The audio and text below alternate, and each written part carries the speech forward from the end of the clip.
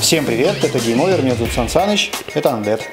Добрый день. Партнер программы Game Over – магазин Big Play. Диски для PlayStation 2, PlayStation 3 и PSP. Улица Чичерина, 76, дом Быта Экспресс, второй этаж. Телефон 3201 39. Улица Некрасова, 81, телефон 333 183. Начнем с самого важного и интересного, что произошло на текущей неделе.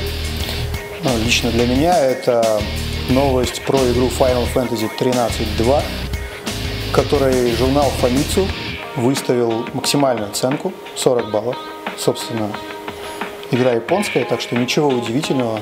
Другого от журнала Famitsu мы не ждали. Появились наконец-то некоторые подробности о том, что в этой игре будет и как там все это будет происходить. Конечно же, это в первую очередь интересует тех, кто играл в Final Fantasy 13 без... И предыдущие 13 частей. Нет, нет, нет, кстати, сюжетно эти игры не связаны между собой вообще. Ну, в общем, это надо играть, чтобы прочувствовать. Вот. И Список изменений впечатляет, мягко говоря, то есть разработчиков критиковали за чрезмерную линейность, уровни были такие длинные и однотипные в массе коридорные. своей, коридорные, да, то есть никуда нельзя было сворачивать, никаких ответвлений нигде не было, то есть идешь прямо, всех мочишь и все. А теперь уровни будут более разнообразными.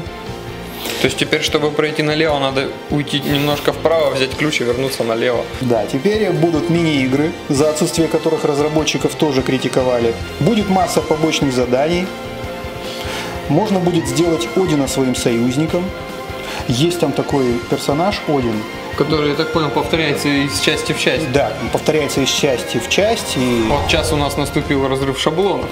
Но это Потом... не тот самый Один, это Один из... Э, Нет, понятно, но ты говорил, что персонажи не повторяются. Нет, персонажи не повторяются, но это один из э, так называемых существ, которых можно призывать, чтобы он там за тебя кого-нибудь мочил. То есть это не в полном смысле слова персонаж. А, он, есть он там не принимает участие в сюжете, не разговаривает, там не дает квестов, ничего. То есть молча рубит. Молча рубит, да. И, естественно, будет новая игра плюс, после прохождения основной игры можно будет начать игру заново и э, вместе со всем оружием и боеприпасами, которые накопились за время первого прохождения. JRPG в атаке.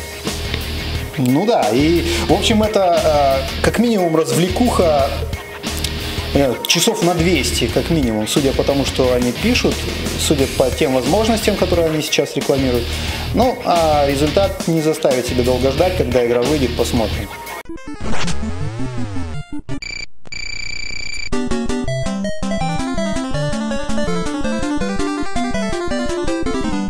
Еще одна самая важная новость, которая случилась у нас недавно, буквально на той неделе – это выход долгожданного патча, то есть обновление для World of Warcraft 4.3, который называется «Время сумерек». То есть... Ну и первый вопрос к уже игравшему, очевидно, и почувствовавшему все прелести этого замечательного и долгожданного патча.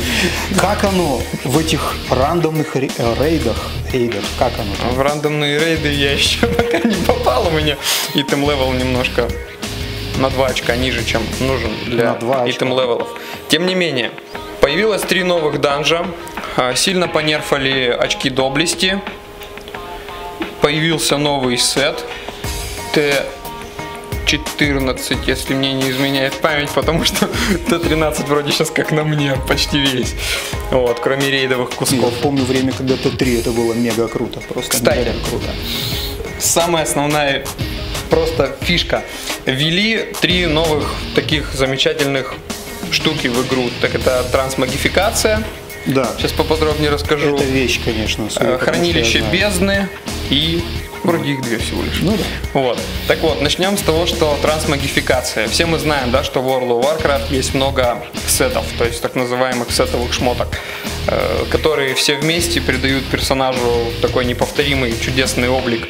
Э, кроме того, собрав, допустим, весь сет вместе, получаем прикольные штучки и плюшечки, вот, которые дает нам этот сет. Так вот, теперь можно шмотки шмоткам, то есть ну, э, придавать вид старых сетов. В связи с чем в Агримаре раз в минуту звучит громкий возглас «Собираю рейд», из трех человек. В классические рейдовые инсты.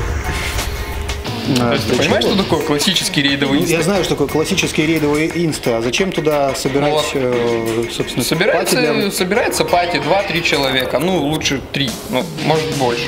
Вот. И идется, выбивается, допустим, тир 2. И Куски тира 2 складываются в сумочку.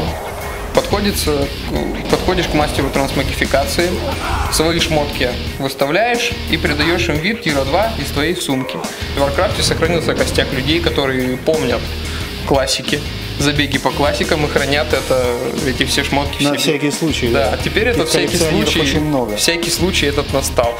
Что не то чтобы удивительно, а предсказуемо.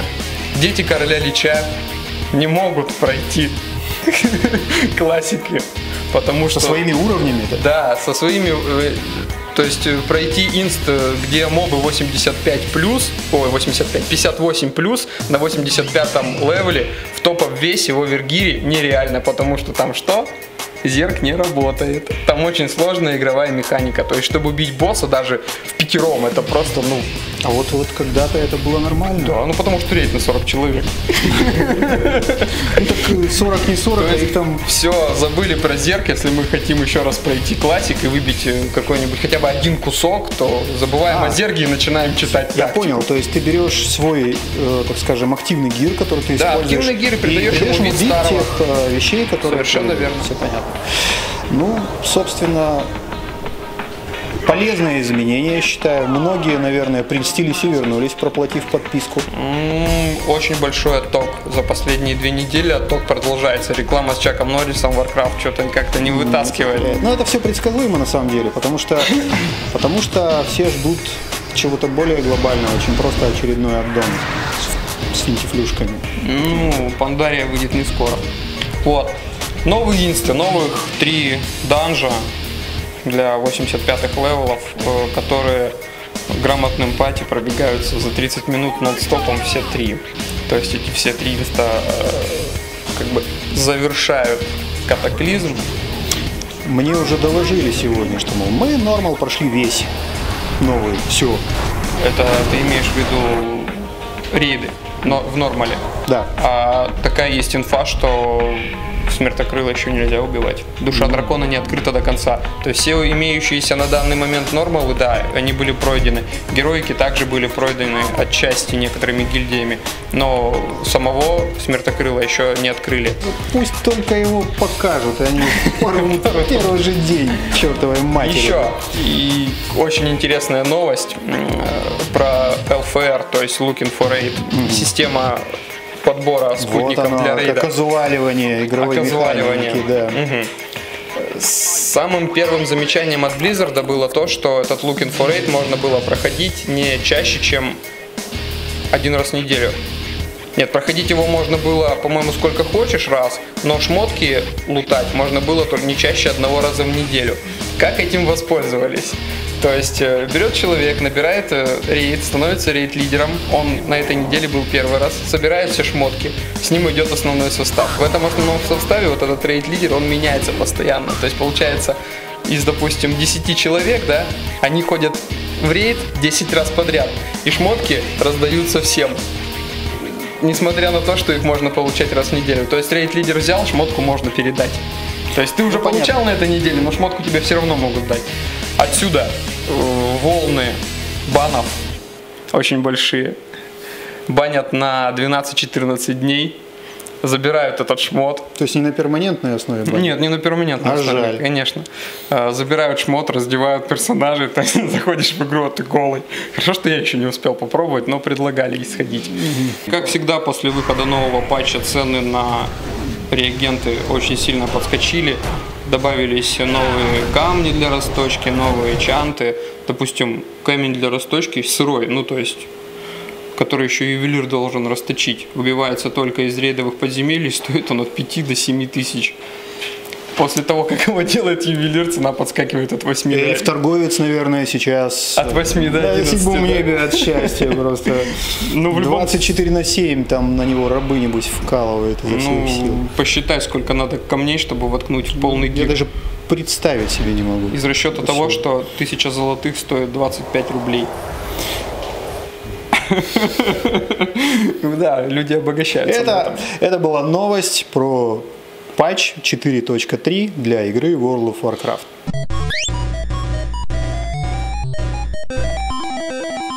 Главная новость этой недели. Третья главная но- новость. Третья главная новость этой недели. Игра Mario Kart 7 взорвала продажи портативной приставки 3DS. Просто взорвала. То есть до игры Mario Kart 7 приставку покупали вяло. И вообще они не знали После, буквально. после игры Mario Kart 7 приставку начали расхватывать как горячие пирожки. Боже мой, что это за Ты не игра? знаешь, где в? Уссурийске можно купить приставку Mario Kart 7? и приставку? Нет? Нет. Ну, ты представляешь, вот цифры, цифры э, впечатляют. За последнюю неделю октября было продано 65 тысяч консолей Nintendo 3DS. С приходом Super Mario 3D Land продажи выросли до 145 тысяч консолей, а на прошлой неделе продажи выросли еще больше. И с релизом, и с релизом Mario Kart 7 составили аж 216 тысяч 350 консолей. Игра не успела выйти и все. Склады опустили. Склады опустили. Но это еще не все цифры. Мировые продажи Mario Kart для Wii составили более 28 миллионов копий. Вот. А игры Mario Kart для портативной приставки DS 17 миллионов копий. Там еще рекорд Modern Warfare не побит. Нет? Что касается позиций в мире, продажи 3DS в США за последнюю неделю выросли на 325% благодаря игре Mario Kart 7. Вот оно, удачный title, взрывает продажи консоли. И теперь все знают, что это за title, и теперь все знают, какой должна быть игра мечты, чтобы э, консоль стала мега популярной на весь мир. На- Да. Я видел реально геймплейные ролики, ну, Я думаю, что картингисты должны ликовать, потому что именно этот сеттинг является выигрышным. последний раз, ш- ну, что подобное играл, это был, наверное, год 2000. Да какой 2000? Это был 98-99, это был Crash Bandicoot Racing. Ну, он тогда рулил, да, там машинки сидели. Конечно.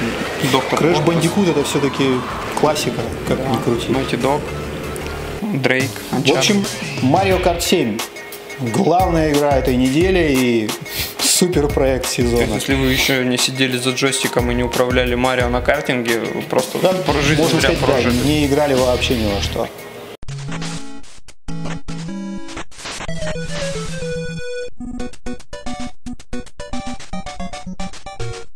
Умельцы не дремлют и уже прикрутили к игре The Elder Scrolls 5 Skyrim Kinect. И теперь в Skyrim можно играть с использованием контроллера Kinect. То есть берешь и руками кидаешь фаербол, например. И там надо ударить мечом, берешь и То есть бьешь. это неофициально. Ну, это не патч. Ну, естественно. Ну, это к вопросу о пиратстве на Xbox.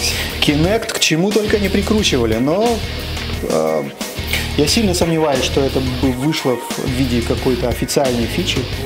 Очень сомневаюсь. Ну, конечно. Потому что Kinect создавался, надо полагать, не совсем для Ну, представь вещей. Skyrim под Kinect.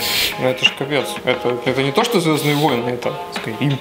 Это даже не Sport Champions И не Mario Kart и 7. не Mario Kart 7, это Skyrim для Kinect. Тоже революционная фича.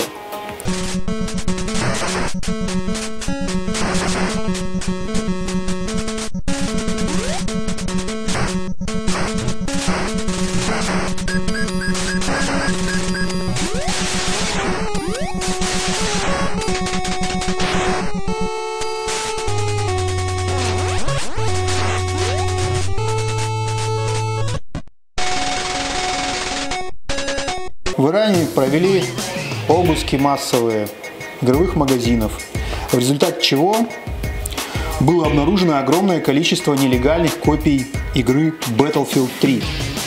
Вот, и Так вот, вот куда продажи все делись. в Иране игра Battlefield 3 запрещена, играть в нее нельзя, Почему? потому что в игре есть сцена, демонстрирующая вторжение американских солдат на территорию Тегерана, столицы государства Иран. Вот. То игра запрещена, и э, простым иранским пацанам ничего не остается, как Играть в Марио Карт 7. Ну или нелегально рубиться в батл так, чтобы не спалили, не дай бог. Потому что это Давайте, уголовно наказуемое давайте преступление. сбросим ядерную бомбу на Иран. На Иран, а на Ирак. Это какая разница? Партнер программы Game Over – магазин Big Play. Диски для PlayStation 2, PlayStation 3 и PSP. Улица Чечерина, 76, дом Быта Экспресс, второй этаж. Телефон 3201 39. Улица Некрасова, 81, телефон 333 183.